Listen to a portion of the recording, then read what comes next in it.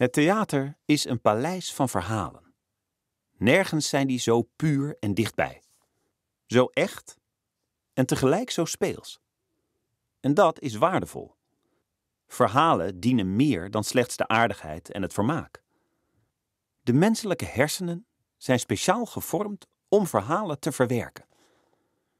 Flinke plukken van de hersenschors zijn ervoor gereserveerd. Vandaar dat u straks de zaal weer uitloopt met een andere tred. Dat u zich, behalve uzelf, ook een beetje de hoofdpersoon van het verhaal zult voelen. En dat is niet voor niets. Theater helpt mensen om zelf een verhaal te zijn. Een trots en positief levensverhaal. En dat helpt weer om steviger in je eigen schoenen te staan. Zo blijkt uit onderzoek. Om weerbaar te zijn en je niet uit het veld te laten slaan. Dat u dit weet, u gaat hier straks veerkrachtiger en sterker vandaan dan u kwam.